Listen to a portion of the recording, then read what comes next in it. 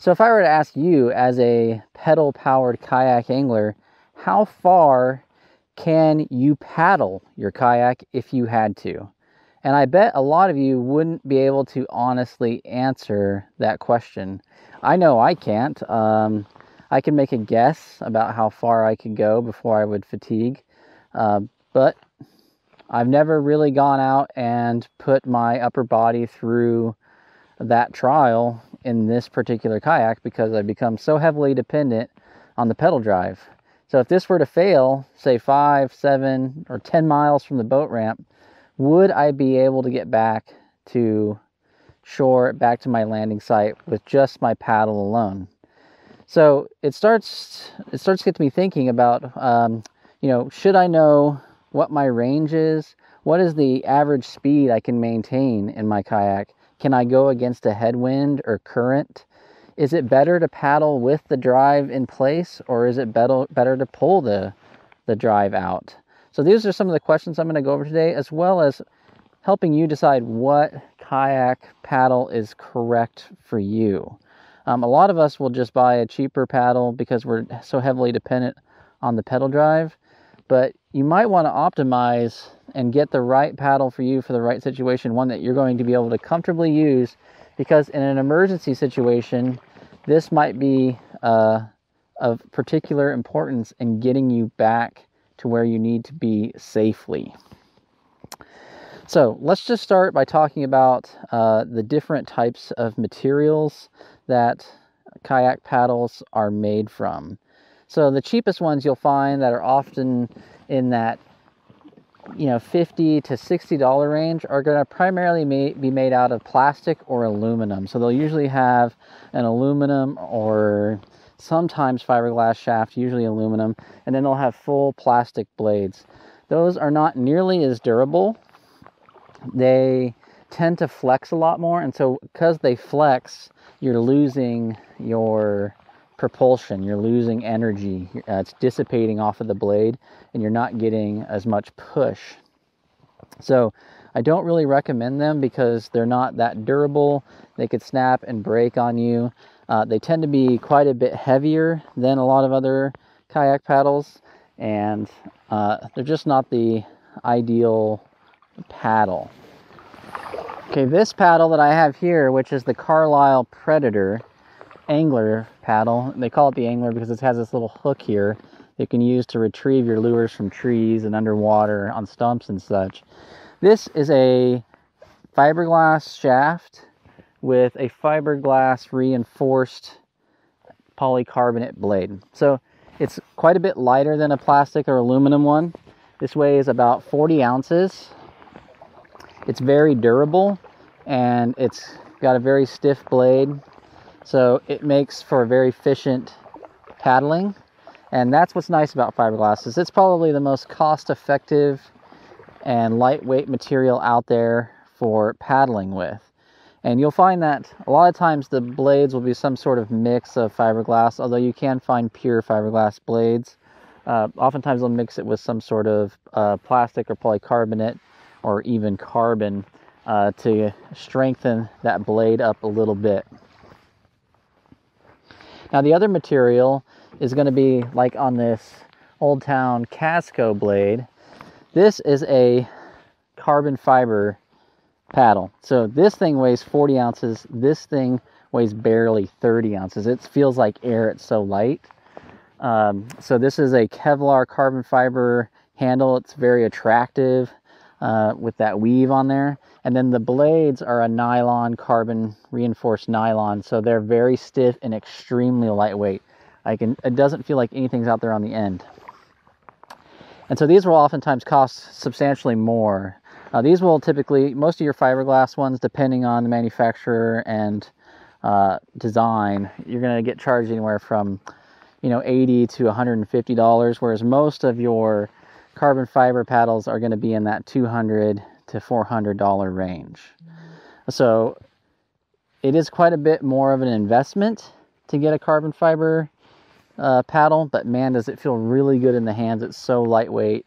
Um, it'll definitely reduce the amount of fatigue that you're going to have.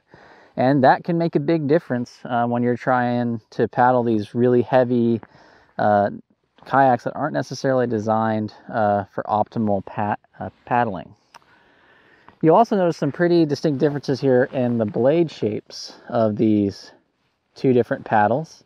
See, the Casco's got that long, skinny blade, whereas the Predator's got this wider, fatter blade, a little bit shorter as well.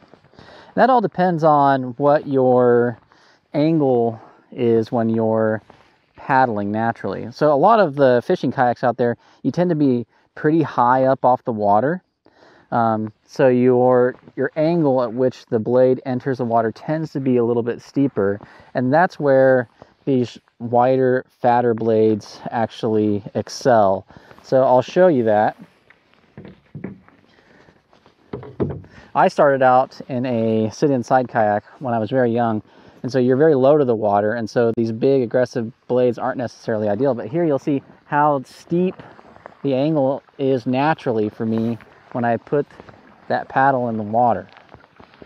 And so because of that steep angle, most of the blade ends up in the water as I push back. So I'm getting really good efficiency with this blade.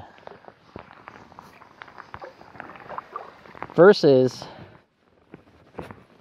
the blade like this, these long skinny blades,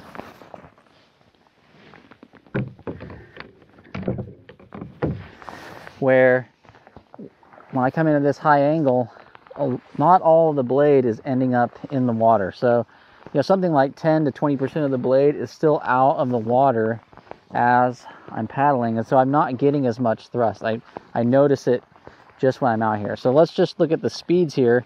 When I'm just sort of doing a casual paddle with this long skinny blade, I'm averaging about 1.4 to 1.5 miles per hour. Now, let's pull out this more aggressive blade and try to do a similar pace.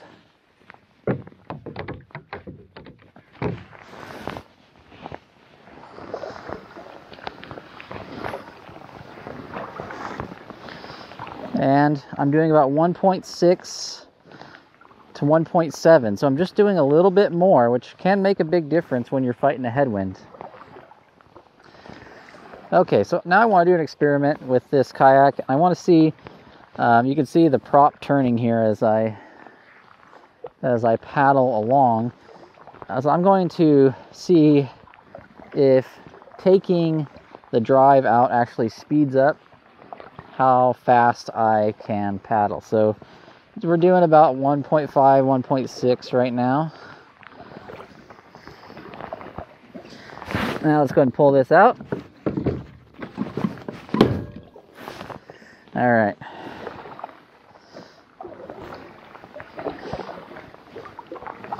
Oh yeah, I noticed a big difference right away. Uh, I'm averaging 1.7 to 1.8 miles per hour. So at least for me in this prop-driven kayak, having the now I'm doing almost two. Having the drive out actually makes a pretty big difference on terms of my speed. So that might be something you want to play around with. I know that when I used to paddle in my Hobies, the having the drive in place actually kind of acted like a, a rudder and kind of kept me straight. I'd pull my rudder up, and uh, that helped quite a bit. But in this case, it seems that having the drive up does make a pretty big difference in terms of allowing me to paddle just a little bit faster. Now, today there's not a lot of wind, so it's very calm out, and I'm not having to fight the wind that much. But I know from experience that when I've been out paddling in the wind, you can really lose a lot of speed when you bring these blades up into the wind. They act like little mini sails. And I tend to run my shaft straight. So you can see here there's these two other drilled out holes here, I can turn it to 60 degrees in either direction. Um, and there are others that allow you to adjust at, at an infinite number of, of angles. But I like I tend to use mine straight. Other people will find that an angled one is better, but if it gets really windy and I need to feather, then I will go ahead and rotate the blades. Now my blade angle is offset. So you can see that. And so now what I'm gonna do is I'm gonna have one hand that locks in and the other hand's going to rotate. And this is going to allow me, as I bring this forward, then you see how that blade starts to flatten out as I bring it forward? And then I gotta learn to rotate my wrists. But that basically what that causes, it forces you to do is you bring, as you're bringing the blade forward, it's more flat and doesn't catch as much wind. And so when you go down, and this hand basically spins free and this hand I keep locked in place. And it is not something that I have mastered, but it definitely helps when you're trying to fight the wind. And it's something worth practicing is feathering. So this paddle, like I said, is the Carlisle Predator. They've replaced this with the Magic Angler. It's very similar in design and shape and a very affordable paddle at around 100 to 120 dollars and this is the Old Town Casco their carbon model. They also have a fiberglass model that they have these longer skinnier blades. This one retails for about 190 um, but boy is it very light. I really like this paddle.